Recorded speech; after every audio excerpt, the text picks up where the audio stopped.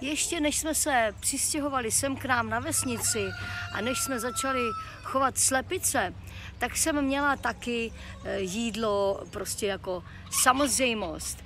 Teprve teď, když vidím, co to všechno obnáší, jaká práce okolo toho je, tak vím, že vlastně zemědělství je základ státu. Třeba si řeknete, no a co lékaři? Ti nedělají nic? Samozřejmě dělají, ale představte si to, že by byl ten lékař hladový. Ten by toho asi taky moc nenadělal. Nebo dělníci ve fabrikách a v továrnách, horníci, ty musí jít do práce jako totálně s plným břichem, protože se to jinak dělat nedá. A kdo je zodpovědný za to, aby se tady celý národ najet? Zemědělci. Platy v zemědělství by se měly zvednout aspoň tak o 30-40% protože samozřejmě, jak vy všichni víte, není možný najít lidi do JZD nebo vůbec do takových eh, věcí, protože tu práci, těžkou práci, už dneska nechce nikdo dělat, hlavně ne, ne dělat za tyhle peníze. Práce v zemědělství je v podstatě strašná dřina. To, že tady mám takovýhle hobbychov, jo, to není nic proti kravínu, proti prasečáku a proti těm obrovským slepičím halám, kde jsou v podstatě ta zvířata, která hlavně v těch slepičích halách, totálně zneužívána.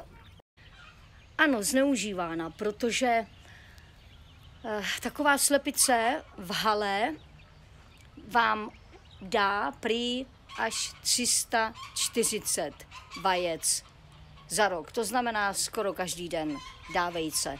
A představte si na takovou jednu slepici každý den dát vejce. To je vyčerpávající jak pro organismus, tak samozřejmě pro kosti. A oni tu slepici, aby tohle, tenhle ten výkon dávala, napumpujou, helejte, nechci vědět ani čím. V halách se svítí, skoro od nevidím do nevidím, aby jo, to zvíře vám dalo skoro každý den.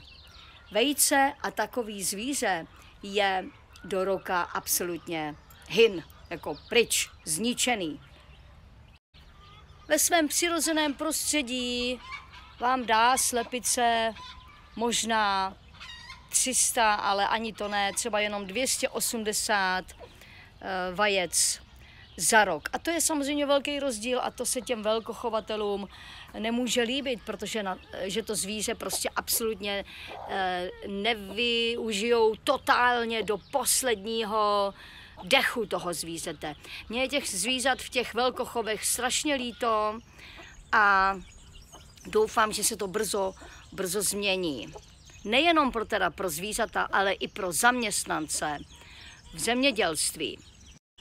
Práce se zvířaty je určitě práce krásná. Což to o to, lidi v zemědělství to dělají s láskou. Jenomže ono, když to děláš za pár korun, tak to je takový blbý. A neříkejte mi, měl se slíp učit, nebo běžte dělat ajťáka. Kdo vám potom, vy ajťáci, lékaři, politici, já nevím, eh, lidi z kanceláří, kdo vám dá najíst? Co budete jíst? Můžete mi to říct? Co budete jíst? Proč vy pořád máte, tak se směl líp očet. Mohl dělat já nevím co. A tobě dá najíst kdo? Strašně mě mrzí, že v dnešní době jsou zemědělci eh, tak jakoby já to řeknu úplně svýma slovama, jakoby spodina národa. To je teďka samej ajťák, samej, eh, jo, tohleto. Ale ajťáci, co byste jedli? Chápete mě, jo? Prostě práce zemědělců je v podstatě základem, už jsem to řekla, opakuju to znova, základem celého státu, já to tady vidím.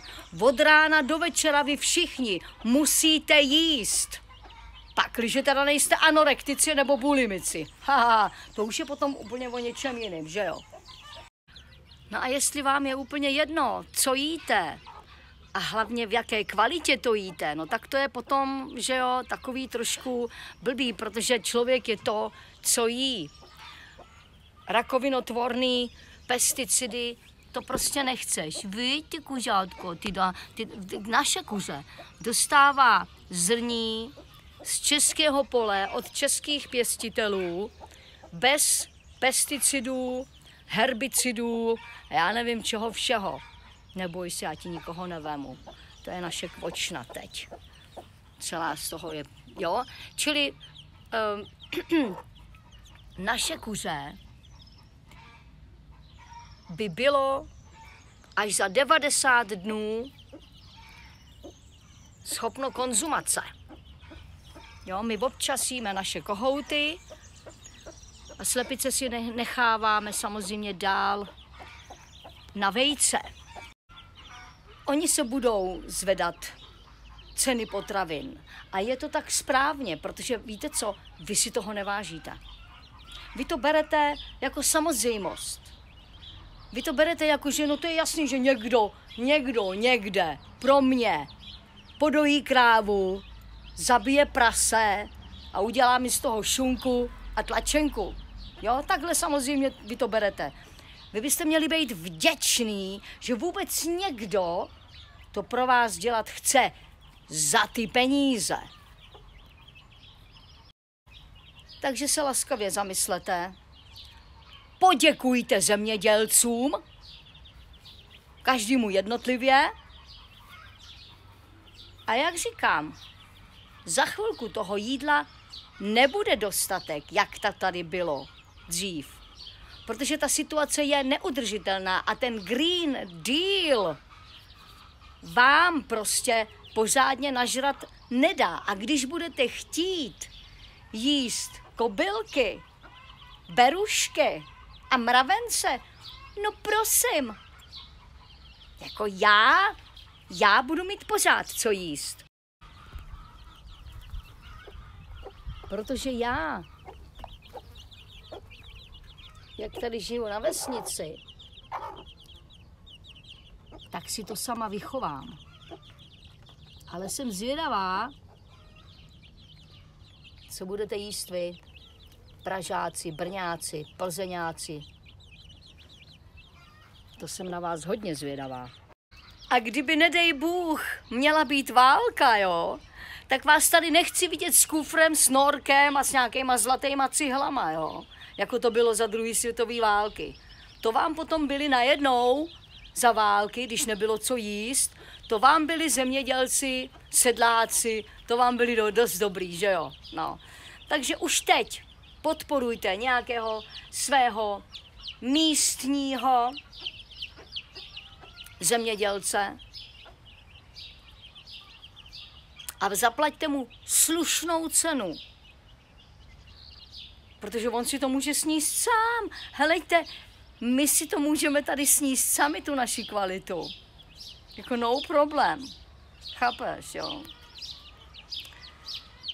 Takže neberte, neberte jídlo jako samozřejmost. Jídlo není v dnešní době samozřejmost. To vy jste z toho udělali takový konzumní shit. Vyhazuje se jídla tuny. Já to vidím tuny jídla se vyhazujou. Vlastně se dělá produkce jenom proto, aby se to vyhodilo. Tak to je velký špatný. To je velký špatný. Já vám přeju dobrou chuť.